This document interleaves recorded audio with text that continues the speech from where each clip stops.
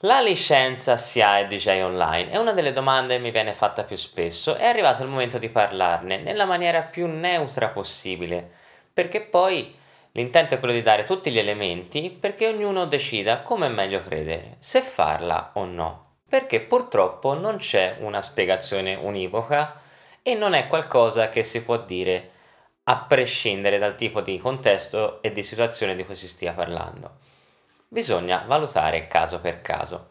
Facciamo comunque un resoconto fin dall'inizio per capire come è strutturata questa licenza SIA DJ Online e quando può essere opportuno farlo e quando anche no.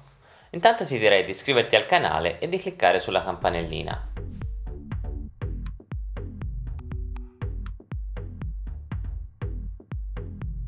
Ritorniamo per un attimo all'inizio degli anni 2000. Quando oltre alla diffusione dei dischi in vinile si affiancano i CD, inizia a venire fuori l'esigenza di masterizzare la propria collezione di vinili per raccoglierli dentro compilation di CD.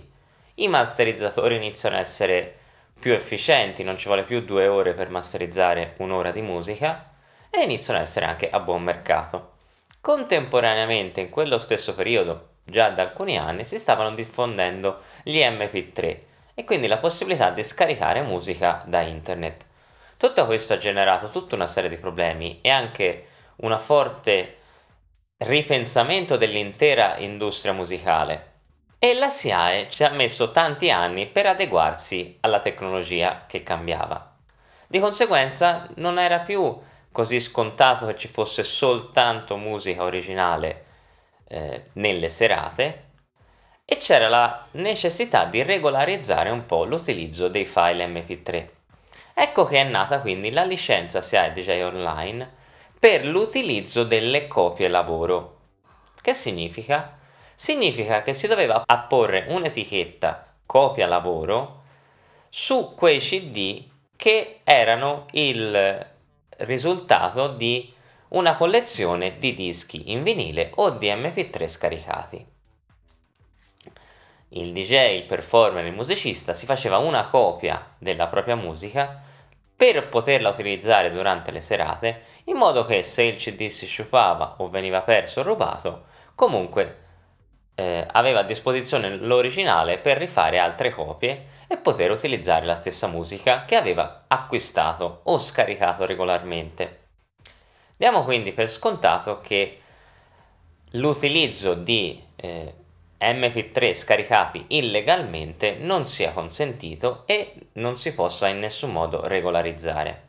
Negli anni sono sorte alcune controversie, perché per esempio si è sviluppato molto l'utilizzo della musica tramite supporti USB, chiavette, eccetera, sempre più si è diffusa la, il download di musica sia acquistata che scaricata gratuitamente e allora mh, mm, questa esigenza delle copie lavoro è quantomeno secondaria rispetto all'esigenza di poter utilizzare musica acquistata.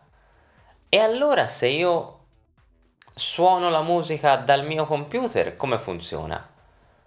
E qui c'è un grosso, una grossa controversia, perché SIAE sostiene che la licenza DJ Online serva anche per quei tipi di file che quindi debbono essere regolarizzati e inseriti in una lista.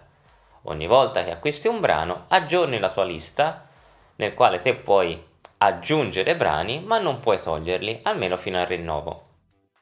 E per capirsi si parla di 200 euro l'anno più IVA per una collezione di fino a 2000 brani, altrimenti il prezzo aumenta. Di conseguenza ogni volta che acquisti brani che ti porti con te nelle serate li aggiungi fino al raggiungimento di questa cifra massima e poi puoi rivedere la lista l'anno successivo.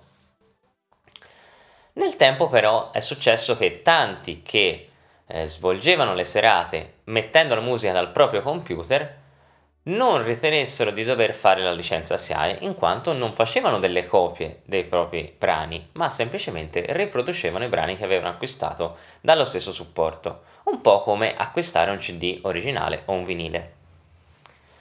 Ci sono state delle contestazioni, ci sono state tutta una serie di cause, molto spesso vinte dalla persona che ha suonato la propria musica senza fare la licenza DJ online.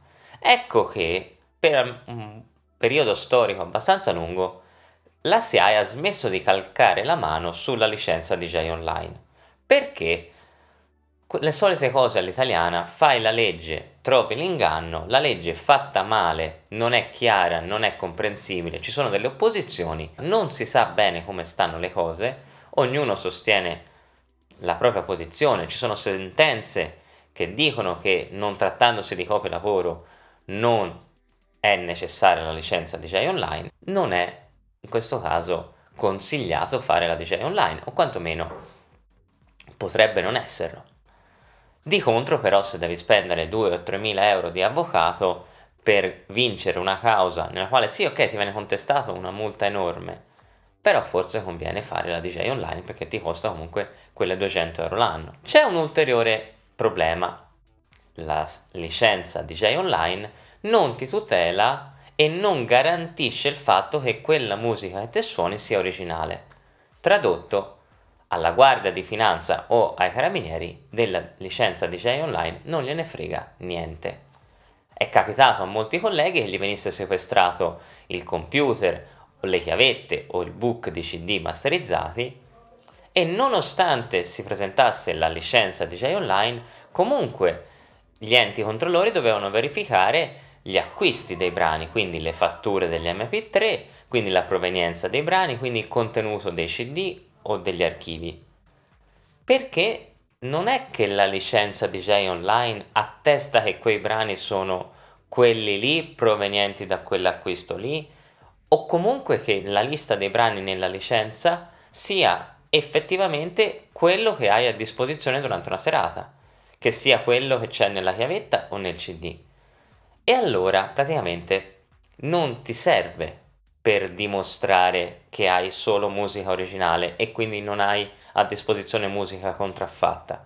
Ecco che dei colleghi che hanno fatto per anni la licenza DJ online, quando sono trovati a doversi giustificare, magari a dover rinunciare al, alla propria strumentazione per alcuni giorni o se non, altro, se non anche settimane, ecco che allora dico ma cosa la faccio a fare la licenza DJ online?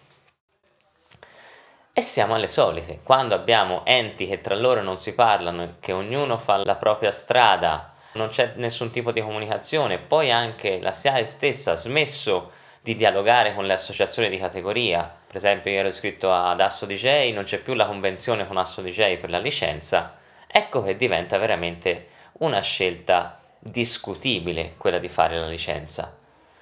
Cosa posso dire? Mm, dipende ovviamente dalla mole di serate, dalla mole di musica, da, da quello che è, di cui è composta tua, il tuo catalogo, perché se utilizzi ancora i CD, molto probabilmente puoi rinunciare ai CD masterizzati.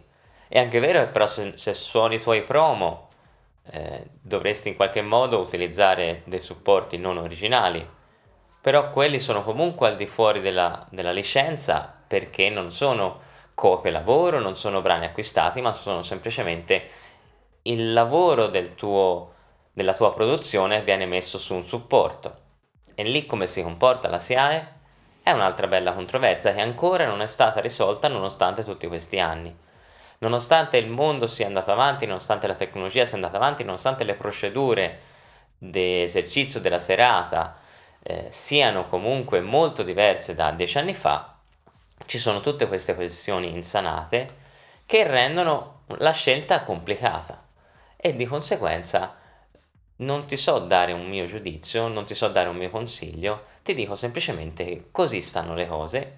Se hai dei commenti, scrivi pure qua sotto, se hai delle domande, se hai delle esperienze da raccontare, ognuno ha dei colleghi che hanno avuto una situazione di questo tipo, è stata risolta in un modo o in un altro, anche perché la giustizia non è che ragiona sempre allo stesso modo eh, le agenzie della SIAE non è che ragionano sempre allo stesso modo. L'importante però, e qui concludo, è essere preparati, essere a conoscenza di come stanno le cose. Quando ho subito io il controllo della licenza, nel quale spiegavo perché in quel periodo non ne avessi bisogno, sono riuscito a non avere nessun tipo di, di problema, perché mi sono dimostrato all'ufficiale della SIAE competente e preparato. Di conseguenza non ha avuto intenzione di andare alle, per le lunghe, con magari l'eventualità di un ricorso o quant'altro, perché mi ha visto che sapevo di cosa si stesse parlando e conoscevo molto profondamente l'argomento. Quindi ti direi anche se vuoi di approfondire sul canale della SIA e su altre associazioni di categoria se sei interessato all'argomento e magari puoi anche farmi qualche domanda per dei temi da sviluppare nei video successivi. Nel frattempo continua a seguirmi su Essere DJ Oggi.